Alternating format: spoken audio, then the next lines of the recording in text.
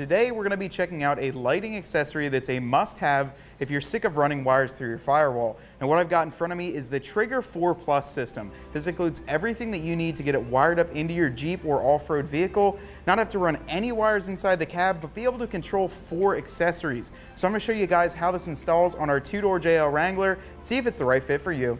Now this Trigger 4 Plus system is the updated version of the Trigger 4 wire system. It includes everything that you need for your off-road vehicle. It includes four 10-foot pre-wired leads that are going to go directly into an off-road accessory, something like a light, an air compressor, or something of that nature.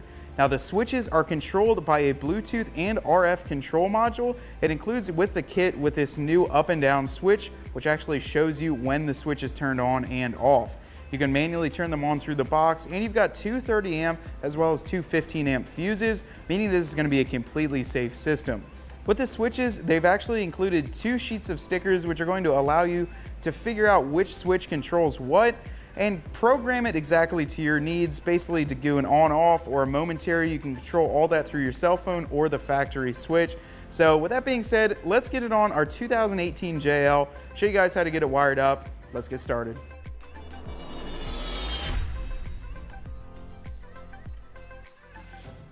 Okay guys, so we've got the hood popped and what you're gonna wanna do is find a nice location that's right by your battery. So our fuse box is right here and the cover is actually a pretty nice flat surface that we can get the control unit mounted onto. And the best part is it's right next to the battery so we can utilize that location to get our trigger control module hooked onto here and then right into the battery. That's the only thing you have to do outside. You don't have to run anything to the inside of the vehicle. You can simply hook it onto here, plug it in, and then we can start doing some wiring and show you how that trigger works. Kit includes a hook and loop setup. They're actually going to 3M adhesive onto the back of the control module. And I've pulled off the backing of this other one and I'm going to hook that to the top of the fuse box. This will give it a nice secure location and then if you want to remove it, you can simply pull it off. Okay guys, we're actually going to utilize this extra stud that the JL has by grabbing just an extra nut right here and tightening it down. Now we're going to tighten this up. This one we use is a 13 millimeter socket. So the last wire to hook up is the yellow wire here. Now this is gonna be your trigger wire from the vehicle. You can either use a fuse if you've got a fuse tap or go under the dash, hook this up. That way you don't have constant power to this trigger module and you can't leave any switches on. Basically, as soon as the vehicle turns on, you have power and you can turn on whatever you have connected to it. In our case, we're gonna just hook this up to the positive just to show you how it works and make sure everything lights up, but you'd connect this to a keyed power source. This is gonna be a positive wire connected to a keyed power source, so just keep that in mind. Okay guys, now that we have the yellow wire just hooked up to the positive right now to show you this, definitely don't keep it like this. You're gonna want that to keyed power. You've got some nice connections on the end here. We can wire them up to whatever you need to, anything positive and negative. And then I'm gonna turn all these off and show you how the switch works as well on this.